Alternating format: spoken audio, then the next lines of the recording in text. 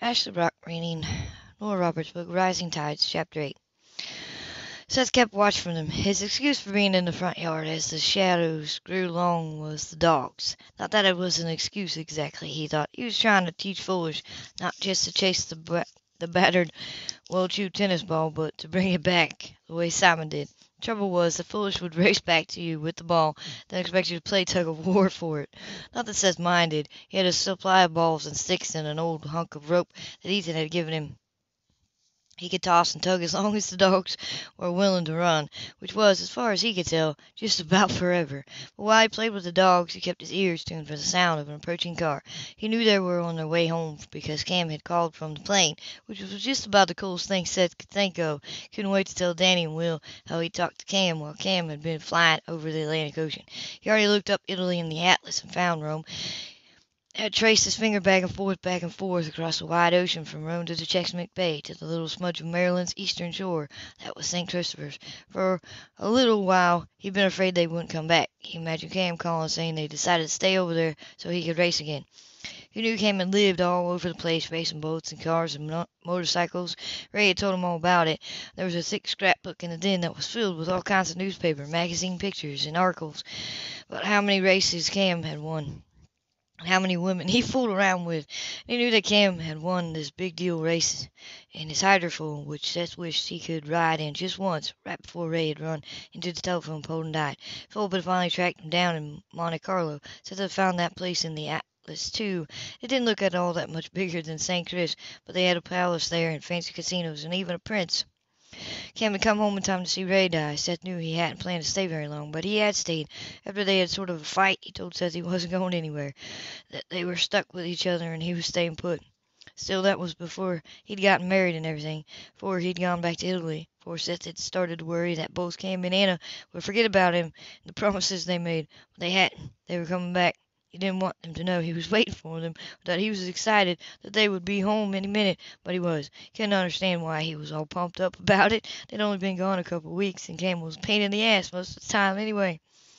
Once Anna was living there, everybody would say how he had to watch his language because there was a woman in the house. Part of him worried that Anna would change things. Even though she was his caseworker, she might get tired of having a kid around. She had the power to send him away. More power now, he thought, because she was doing it with Cam all the time. He reminded himself that she played it straight with him from the minute she pulled him out of class and sat down with him in the school cafeteria to talk.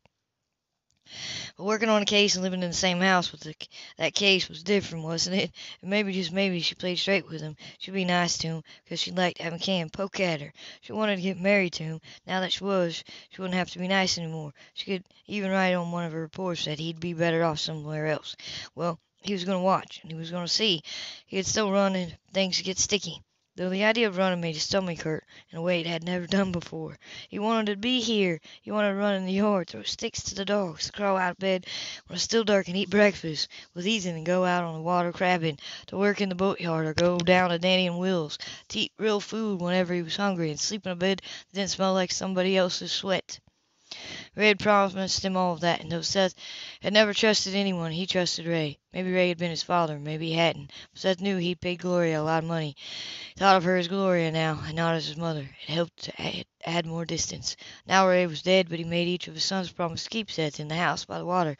Seth figured they'd probably hadn't liked the idea, but they promised anyway. He discovered that the Quinn keep, Quinns keep their word. It was a new and wonderful concept to him, a promise kept they broke it now, he knew it would hurt more than anything had hurt him before. So he waited. When he heard the car, not quite tame roar of the Corvette, his stomach jittered with excitement and nerves. Simon wolfed twice in greeting, but Foolish sat up, then a wild, half terrified barking. The sleek white car pulled into the drive, both darks raced toward it, tails wagging, waving like flags. Seth stuck hands that had gone sweaty into his pockets and strolled over cautiously. Hi! Anna shot him a brilliant smile. Seth could see why came and gone for all right. He himself had sketched her face a number of times in secret. He liked the doll above all else. His fledgling, fledgling artist's eye appreciated the sheer beauty of the, that face. The dark almond-shaped eyes, the clear pale gold skin, the full mouth, and the exotic hint of cheekbones. Her hair was wind-blown, a dark curly mass. Her wedding ring still glittering, diamonds and gold. She stepped out of the car and caught him, unprepared, in a laughing, bone-crushing hug. What a terrific welcoming party! Though the embrace had surprised him into wanting to linger there. He I was just out fooling with the dogs. He looked over at Cam. Hey, hey, kid. Leaning dark and just a little dangerous to the eye, Cam moved forward his length from the low riding car. His grin was quicker than Ethan's sharp, qu quicker than Ethan's, sharper than Philip's. Just in time to help me unload. Yeah, sure. Seth glanced up, noticed small mountain luggage. You didn't take all that crap with you. We picked up some Italian. We picked up some Italian crap while we were there. I couldn't stop myself. Then said with uh, we had to buy another suitcase. Two, Graham corrected. One, one's just a tote. It doesn't count. Okay. Cam popped the trunk, pulled out a generous dark green suitcase. You carry the one that doesn't count. Putting your bride to work already. Philip crossed to the car, wadded the dolls. I'll take that, Anna. He, he said and kissed her with enthusiasm that had Seth rolling his eyes at Cam. Turn loose, Phil. He said mildly. I'd hate for to have to kill you before he even gets in the house. Welcome home. He added and smiled when Anna turned to give him an enthusiastic kiss that Philip had given her. It's good to be home.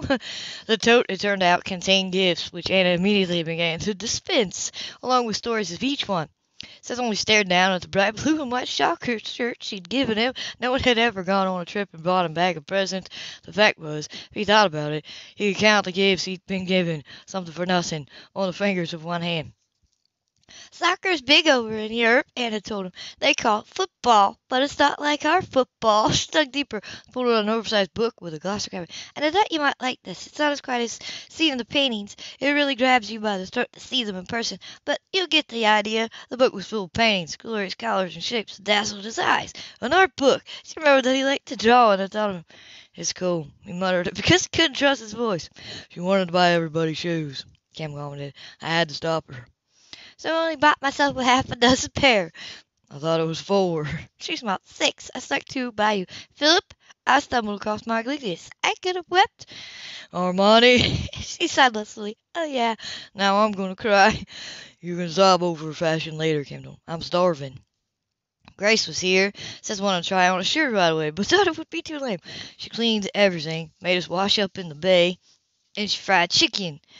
Grace. Grace made fried chicken and potato soup. There's no place like home. Cam motored for the kitchen. Seth waited a few seconds and followed. I guess I could eat another piece, he said casually. Get in line. Can't put the platter and bowl out of the fridge.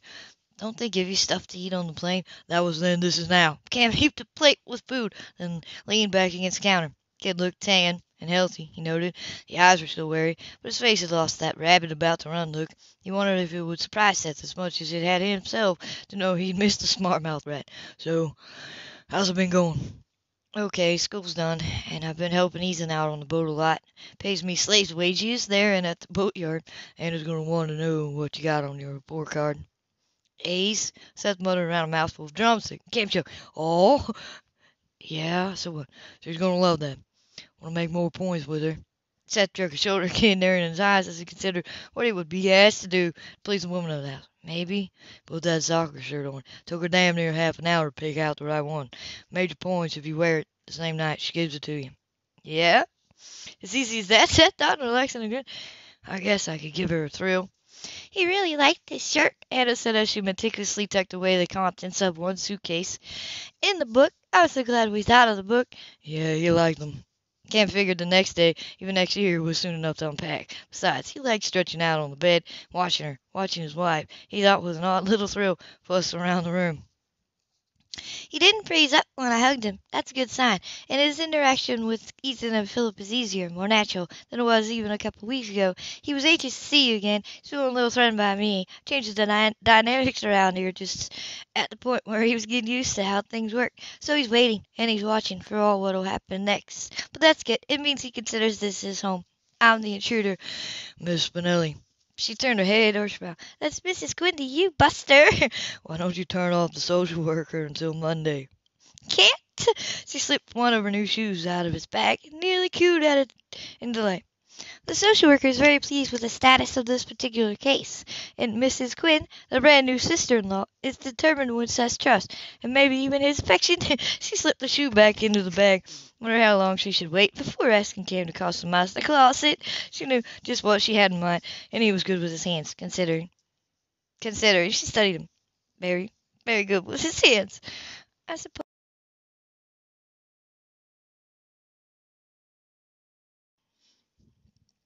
I guess I could finish unpacking tomorrow. He smiled slowly. I suppose you could. I feel guilty about it. Gracious, this place so spotless. Why don't you come over here? We'll work on that guilt. Why don't I? I just tossed the shoe over her shoulder and with a laugh jumped him. She's coming along. Cam studied the boat. It was barely seven in the morning, but his internal clock was still set to Rome. Since he wakened early, he had seen the point had seen the point in letting his brother sleep the day away, so the Quinn stood under the hard, bright lights of the boatyard, contemplating the job at hand, Seth mimicking their stance, hands in pockets, legs spread and braced, face somber. It would be the first time the four of them had worked on the boat together. He was wildly thrilled. I figured you could start below decks, Ethan began.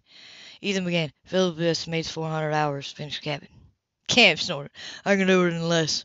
Doing it right, put in, is more important than doing it fast. I can do it fast and right. The client have this baby under sail and galley stocked with champagne and caviar in less than 400 hours. Ethan nodded. Since Cam had come through with another client who wanted a sport fishing boat, he nearly hoped that was true. Then let's get to work. And work kept his mind off things. His mind had no business being on. The brain had to be focused, to use the lathe.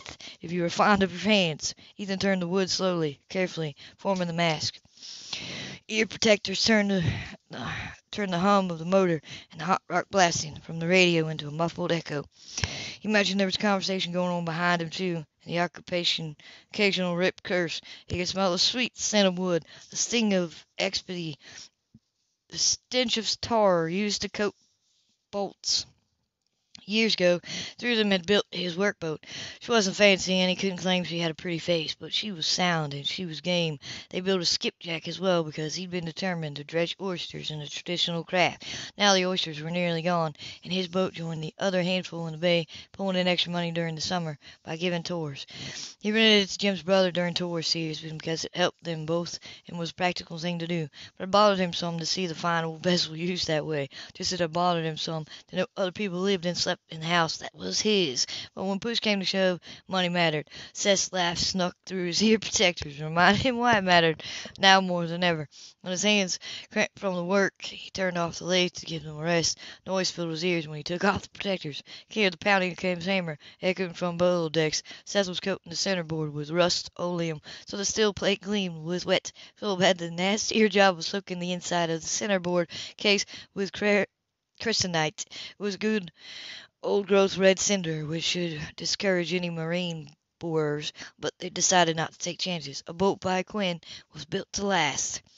Felt a stir of pride watching them. He could almost imagine his father standing beside him, big hands fisted on his hips, waggling on his That makes a picture, Ray said.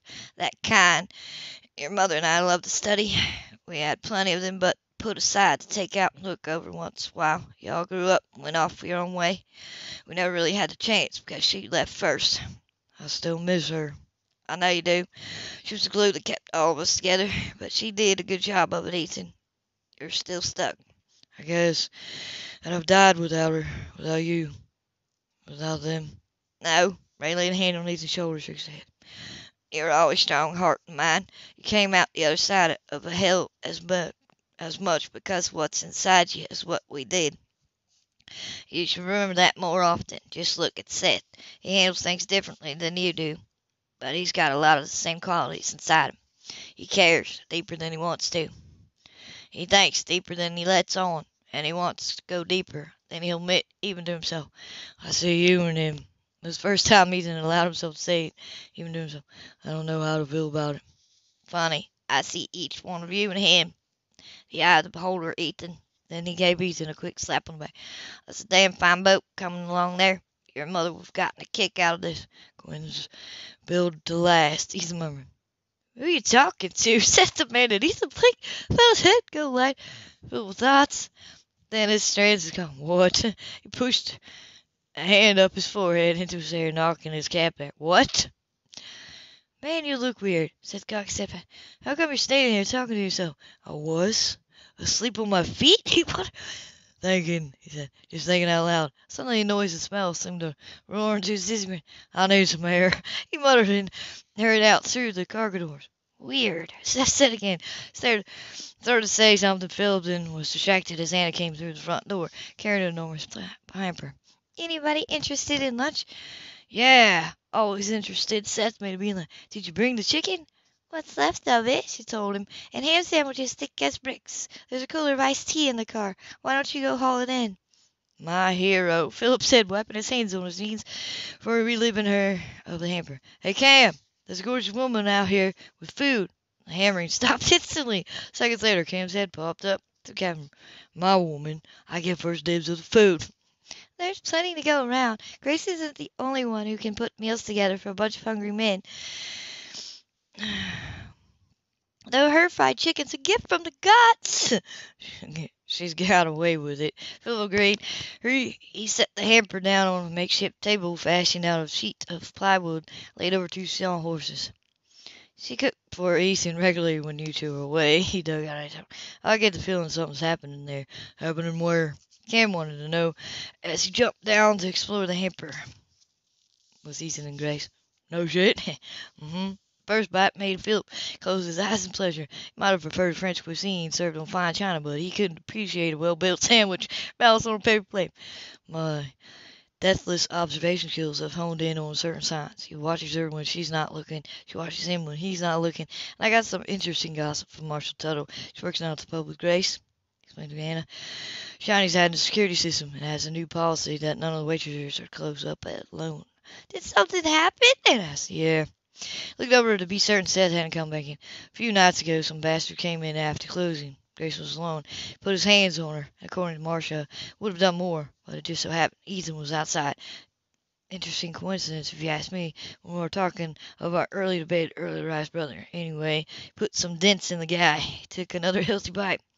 Cam thought I sent her fine bone Grace. I hope oh, they were nice deep dents. I think we can assume the guy didn't walk off whistling. Of course, in typical Ethan style, he doesn't mention it, so I have to hear of it from Marcia over the fresh produce at the market Friday night. Was Grace hurt? Anna knew all too well what it was to be trapped, to be helpless, to be faced with what a certain kind of man would do to a woman or a child.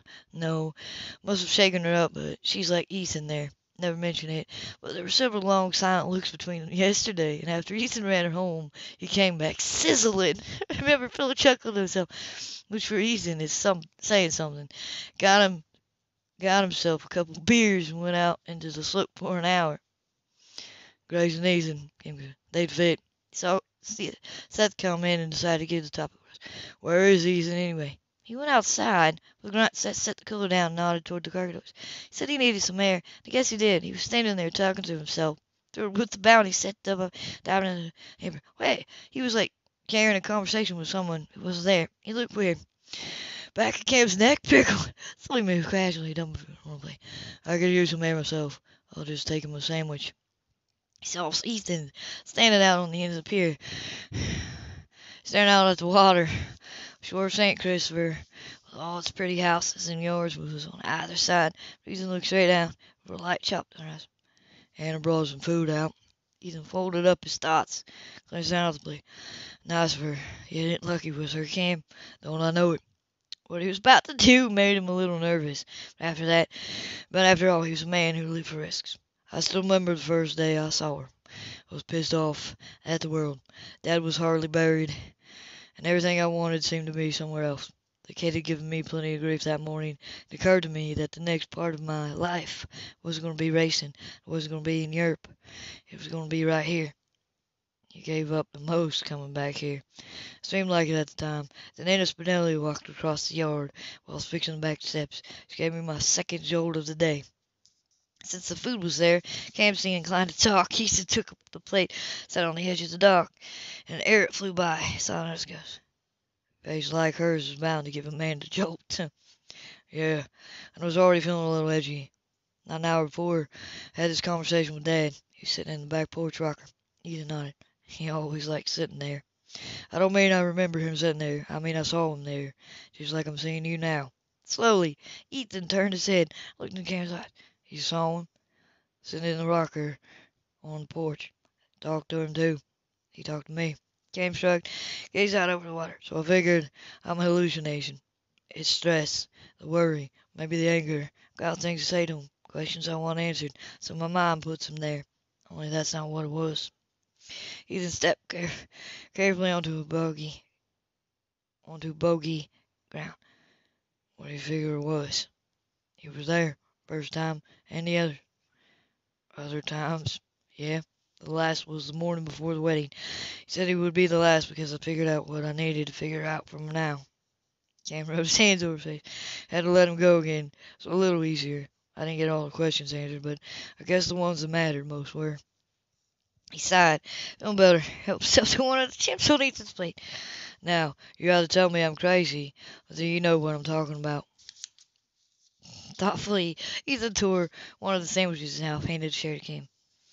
When you follow the water, you get to know there's more things than you can see or touch. Mermaids and serpents. He smiled a little. Sailors know about them, whether they've ever seen them or not. I don't think you're crazy, or you're going to tell me the rest. I've had some dreams. I thought they were dreams. He corrected himself. But lately I've had a couple when I was awake. I guess I have answers too. I guess I have questions too. But I had a I have a hard time pushing somebody into answers. It's good to hear his voice, to see his face. We didn't have enough time to really say goodbye before he died. Maybe that's part of it. It's not all of it. No, but I don't know what he wants me to do. That I'm not doing. I imagine he'll stick around till you figure it out. Can't fit into the sandwich, but amazingly content. So what does he think of the boat? He thinks it's a damn fine boat. He's right. Ethan studied sandwich. Are we going to tell Phil about this? Nope, but I can't wait until it happens to him. What do you bet he'll think about heading to some fancy shrink? He'll want one with lots of initials after his name and an office on the right side of town. Her name. Ethan corrected him again smile. He'll want a good looking female if he's going to lie down on a couch. It's a pretty day. He had to suddenly appreciate the warm breeze and the flash of sun. You've got another ten minutes to enjoy it, Cam told him. Then your ass goes back to work. Yeah. Yeah. Your wife makes a damn good sandwich. He said. How do you think she'll do at Sandalwood? Cam considered. Like the image. Let's go talk her into letting us find out. End of chapter 8.